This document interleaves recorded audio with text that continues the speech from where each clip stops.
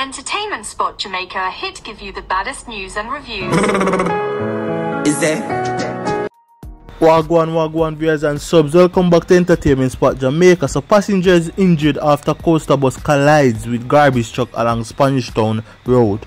An undisclosed number of people were injured after a Toyota coaster bus traveling along Spanish Town Road in St. Andrew collided with a garbage truck Saturday afternoon. According to the eyewitness, the truck was making a turn into the river Ton dump when the two vehicles collided at the intersection. The bus was reportedly traveling westernly heading towards 6 miles Mandela Highway when the accident happened. Good Samaritans used the cable and a garbage truck to pull out the front passenger side of the bus that was heavily damaged so a trapped woman could be freed.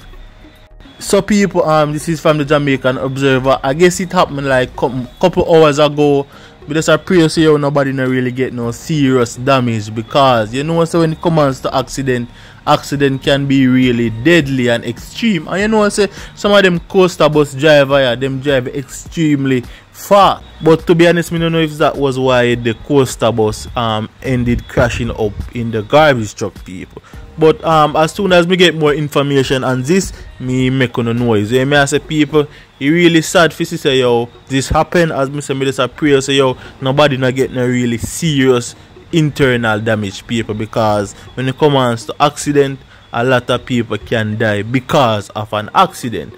So if you're new to the channel, remember to subscribe. As you may say people hit that notification bell. So as soon as I post a video, y'all will be first to be updated.